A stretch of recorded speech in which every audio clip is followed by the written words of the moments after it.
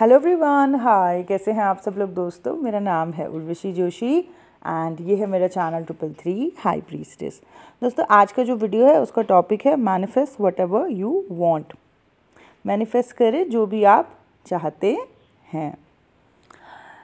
तो यूट्यूब पे बहुत सारे वीडियोस हैं मैनिफेस्टेशन को लेके और उसमें बहुत सारे वीडियोस बहुत ही वियर्ड और इनलॉजिकल भी हैं. अब मैंने भी इस जर्नी में बहुत सारी चीज़ें मैनिफेस्ट करी हैं।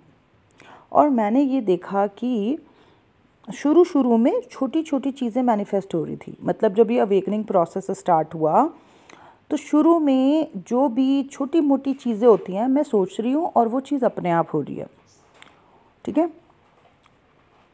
एंड फिर धीरे धीरे मैंने देखा कि बड़ी चीज़ें मैनिफेस्ट हो रही हैं।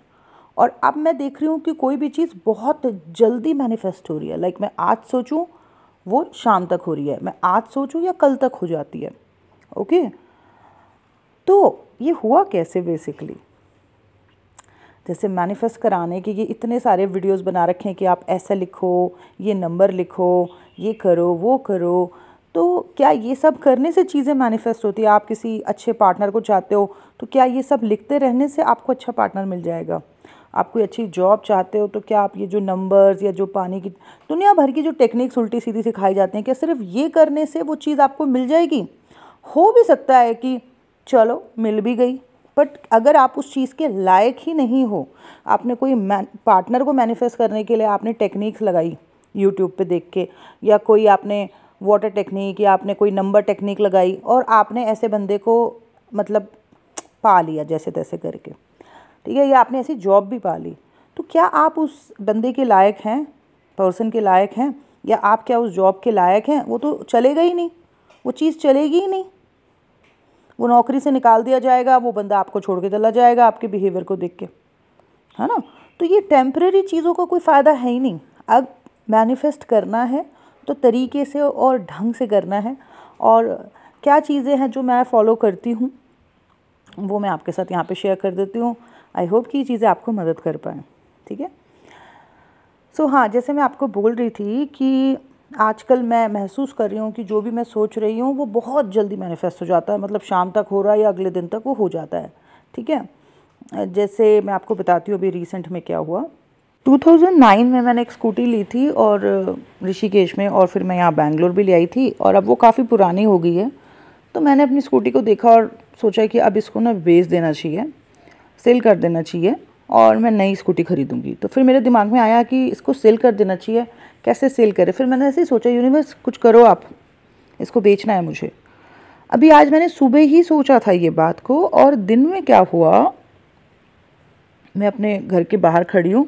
इतने में एक पर्सन आया पड़ोस के घर से। वो उनके घर में उनका होटल है हमारे पड़ोसियों का। तो उनका वो कुछ वेटर या कुछ होगा वहाँ पे।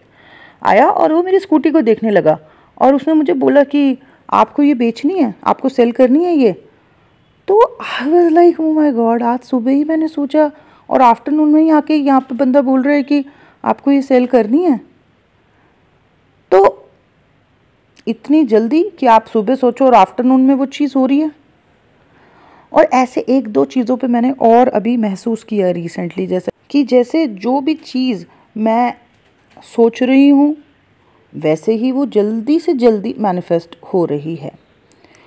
और मैं ये सोचती हूँ कि पावर्स के साथ रिस्पॉन्सिबिलिटी भी आती है तो कुछ भी चाहने से पहले या कुछ भी मैनिफेस्ट करने से पहले आप देखें कि कहीं आप कुछ, ऐसा तो नहीं मैनिफेस्ट कर रहे हो, ऐसा तो नहीं कुछ चाह रहे हो, ऐसा तो नहीं कुछ पाना चाह रहे हो जो कि कर्मों को ख़राब करता हो।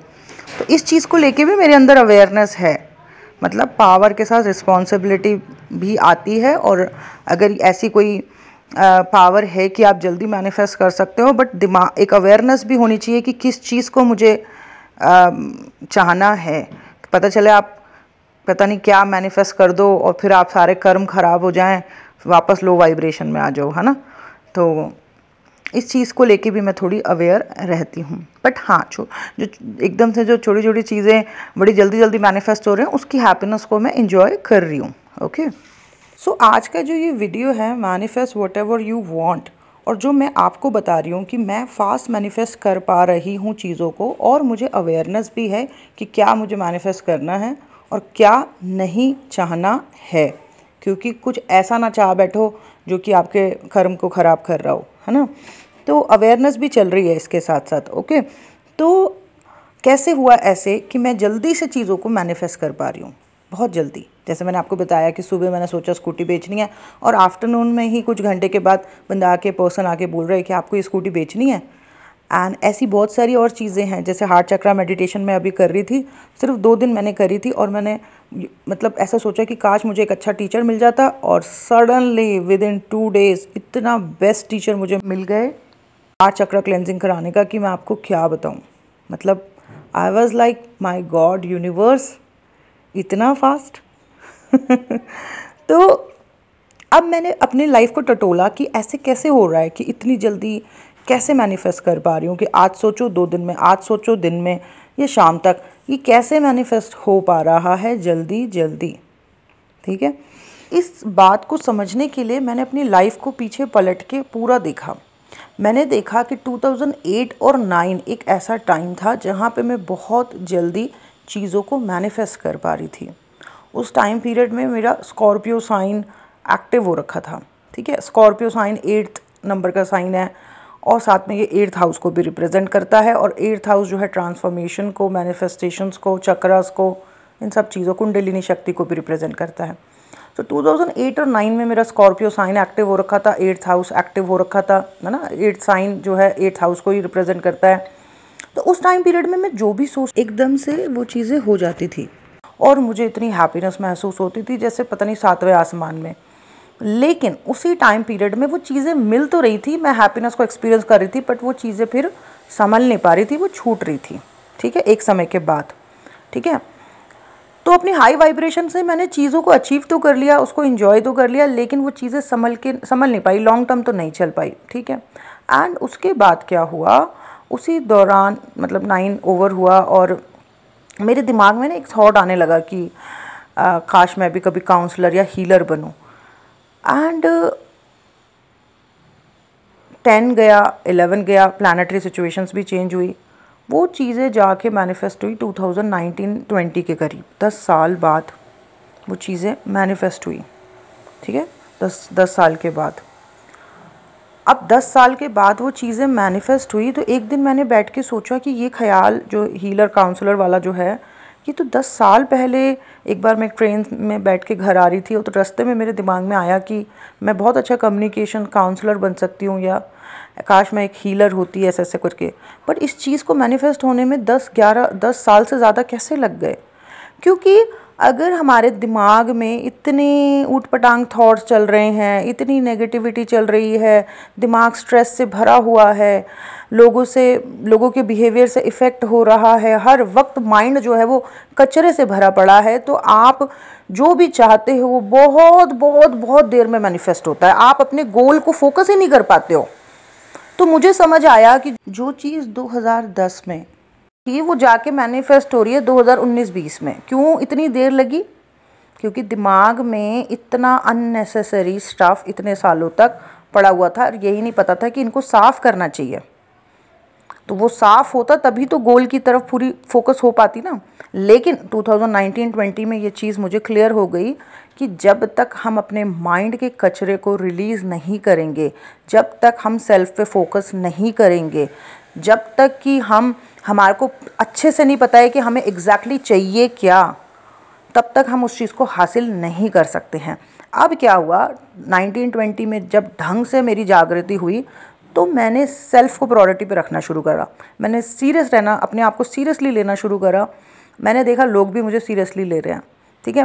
मैंने अपने आप को प्यार देना शुरू किया। मैंने देखा लोग भी मुझे प्यार दे रहे हैं। मैंने और फिर मैंने जितना कचरा था ये माइंड में पड़ा हुआ, उसको रिलीज़ किया 2021 में और अभी भी कर रही हूँ। हर लेवल पे लोअर चक्रास को हील किया, अभी हार्ट चक्रा पे मैं अपनी एनर्जी को क्लेंस करने की कोशिश कर रही हूँ। तो मैंने ये देखा कि जो भी सोच रही हूँ, वो पहले तो चलो पंद्रह, बीस, पच्चीस या एक महीने में मैनिफेस्ट होता था, अब तो दो दो दिन में मैनिफेस्ट हो रहा है। यानी कि व्यक्ति जितना ज़्यादा अपना शुद्धिकरण कर रहा है, जितना ज़्यादा सेल्फ पे फोकस कर रहा है, जितना ज़्यादा अवेयर होकर खुद को देख रहा है, कौन सी चीज़ उसको घबराहट दे रही है, कौन सी चीज़ उसको स्ट्रेस कर रही है, कौन सी चीज़ उसको पेन दे रही है, वो दूसरों को ब्लेम करने की जगह खुद के अंदर झाँक के उस चीज़ को ठीक कर रहा है।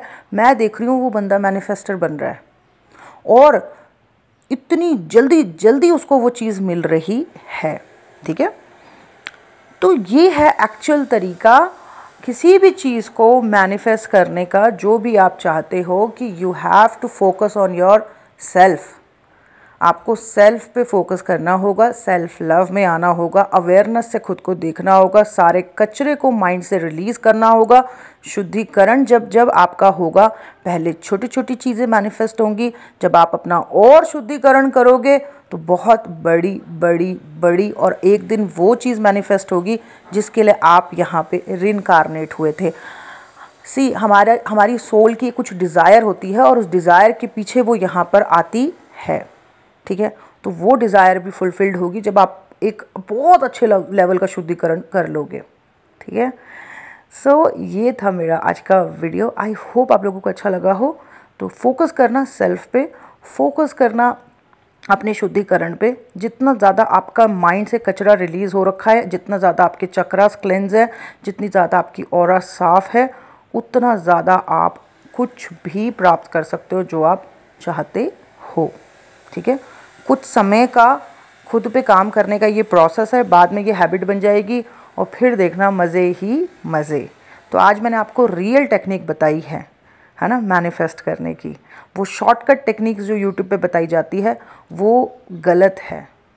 अगर उस तरीके से कुछ मैनिफेस्ट हो भी जाता है तो वो टिकेगा नहीं। तो आज रियल टेक्निक बताइए, इसको अच्छे से सुनना इस वीडियो को एक दो बार, आपको समझ आ जाएगा, ठीक है? और कुछ साल आपको खुद पे इन्वेस्ट करने होंगे फिर कमाल देखना, फिर हेवन एक्सपीरियंस करना यहीं पे। ठीक है? ये था मेरा आज का video thank you so much bye bye take care